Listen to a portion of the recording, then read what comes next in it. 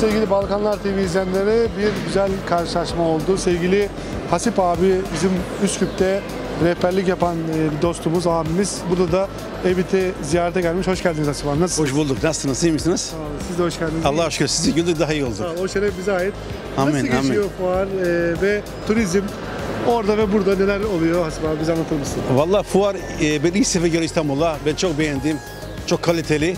Ve inanıyorum ki bu sene Balkanlara Türkiye'den çok daha fazla turist gelecek.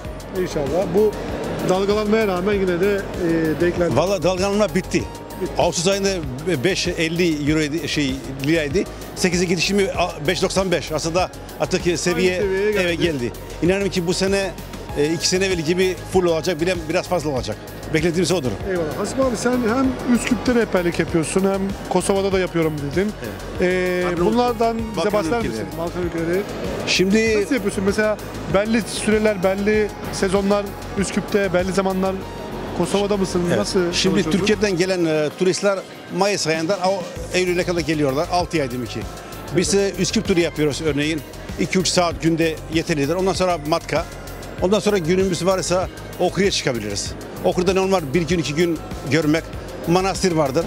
Ondan sonra Kosova'ya gidiyoruz. Kosova demek ki Priştine, Türbe var ve Prizren var.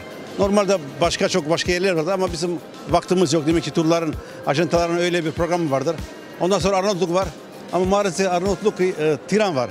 Tiran aslında görecek şehir benim için değil.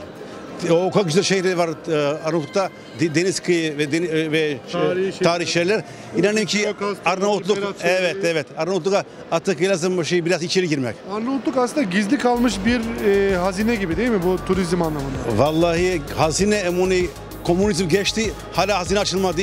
İnşallah inanın ki Türkiye'de misafirler aç- açarlar bu hazine ve bereketli olur Türkiye için de Kosova için de. Arnavutluk için de. Ee, sevgili dostlar bizler e, Hasip Bey ile beraber, Hasip abiyle beraber hem Makedonya'nın tanıtımına hem e, Kosova, Arnavutluk tanıtımına e, programlarımızla kendisi rehberliğiyle katkıda bulunmaya çalışıyoruz ama güzel bir şeye temas etti Hasip abi. Arnavutluk gerçekten e, gezilip görülmesi çok e, keyifli bir yer. Bizler bunu tecrübe ettik.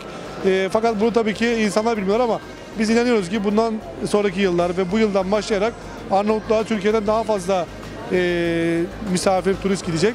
E, çok teşekkür ederiz Hasip abi sana. İnanınız ki Arnavutluk'un kıyısı en az 300 kilometre.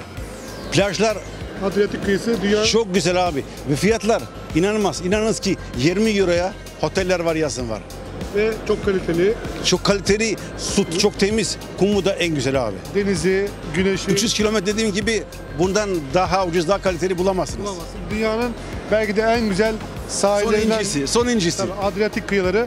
E, buradan selamlar diyelim Hasip abi. Hep, Evet selam. Balkanlar- İnşallah bu sene biraz fazla Türkiye'de misafir gelirler ve biraz fazla kaynaşma olur aramızda. Peki. Tekrar görüşmek üzere sevgili izleyiciler. Teşekkürler.